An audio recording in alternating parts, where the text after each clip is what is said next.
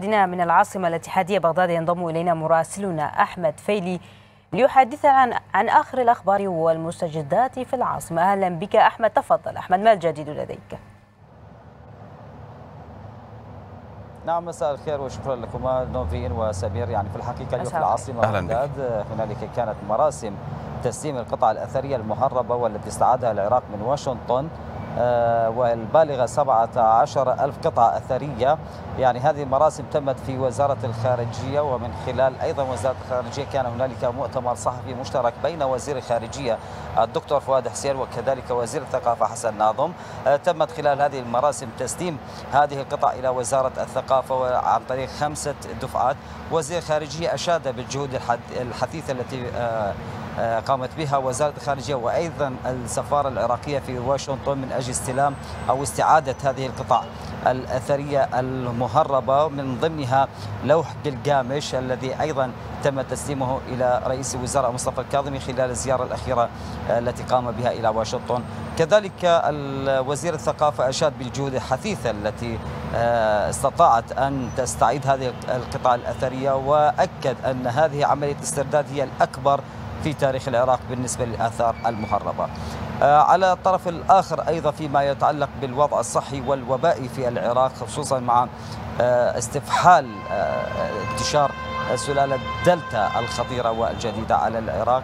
وزارة الصحة تدعم الجهود أو المقترحات لفرض حظر التجول لمدة أسبوعين من أجل السيطرة على الموقف الوبائي خصوصا أن هنالك ضغطا كبيرا تواجهه المستشفيات في عموم العاصمة بغداد وحتى المحافظات الأخرى خاصة مع الزيادة الكبيرة في أعداد الراقدين والحالات الشديدة والحرجة والتي تستلزم الركود في المستشفيات العراقية بسبب خطورة سلالة دلتا وأيضا ارتفاع مؤشر الإصابات الكلي في عموم المحافظات العراقية لكن في بغداد الثقل الأكبر كما تعلمون من حيث الكثافة السكانية وأيضا يعني مسببات أخرى تجعل من بغداد تحتل المرتبة الأولى بين المحافظات الأخرى من حيث أعداد الإصابة المسجلة يوميا. رغم أن هذا الموضوع فرض حظر التجول لم يكن أيضا في حسابات لجنة حقوق الإنسان النيابية التي أكدت أن هذا الموضوع قد لا يؤثر على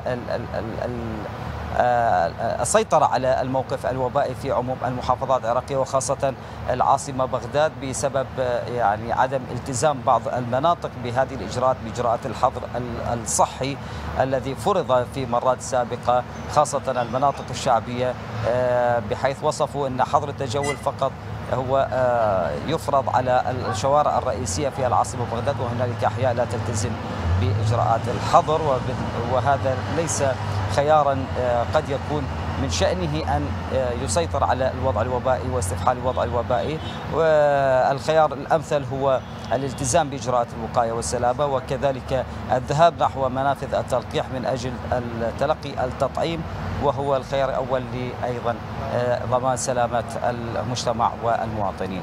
وأيضا في بغداد وزارة التربية قد أطلقت رواتب الموظفين للتربية لبعض مديريات التربية في العاصمة بغداد والمحافظات الأخرى الرواتب ربما التي تأخرت لمدة أكثر من أسبوع تقريبا اليوم أو من مساء يوم أمس أطلقتها هذه رواتب عن طريق الدفع الإلكتروني.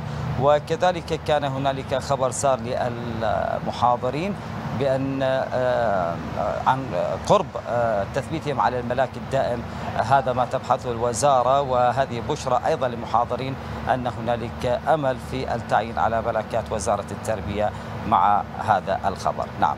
مراسلنا أحمد فيلي شكرا لك على كل هذه التفاصيل. كنت معنا من العاصمة الاتحادية بغداد.